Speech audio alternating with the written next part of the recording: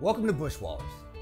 As a restaurant, we've been a Frederick tradition since 1981. Since then, Amber DeMorett has bought the Irish Pub in 2009 and transformed it into a completely new genre, an Irish American gastropub.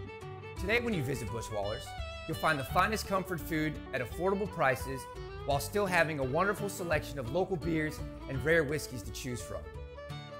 Our draft system, which houses 18 quality beer choices, was originally installed by Guinness. This ensures that every nitro pint is poured to perfection. From our kitchen, you'll want to try our wings, steak and cheese, Reuben egg rolls, Guinness beef stew, fish and chips, pulled pork sandwiches, and we even have tacos. So come check us out. You can feel comfortable knowing that you'll be in a clean and friendly family environment. Cheers.